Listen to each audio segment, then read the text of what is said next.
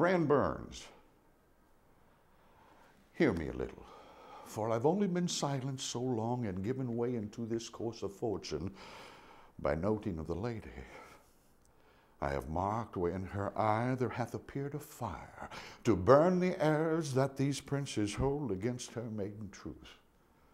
Call me a fool, trust not my age, my reverence, my calling, my divinity, if this sweet lady lie not guiltless here under some biting error. Pause a while. Let my counsel sway you in this case. Your daughter here, the princess left for dead, let her a while be secretly kept in and publish it that she is dead indeed. Her dying, as it must be so maintained, upon the instant that she was accused, shall be lamented, pitied, and excused of every hearer. So will it fare with Claudio. When he shall hear she died upon his words, the idea of her life shall sweetly creep into his study of imagination every lovely organ of her life shall come apparelled in more precious habit than when she lived indeed.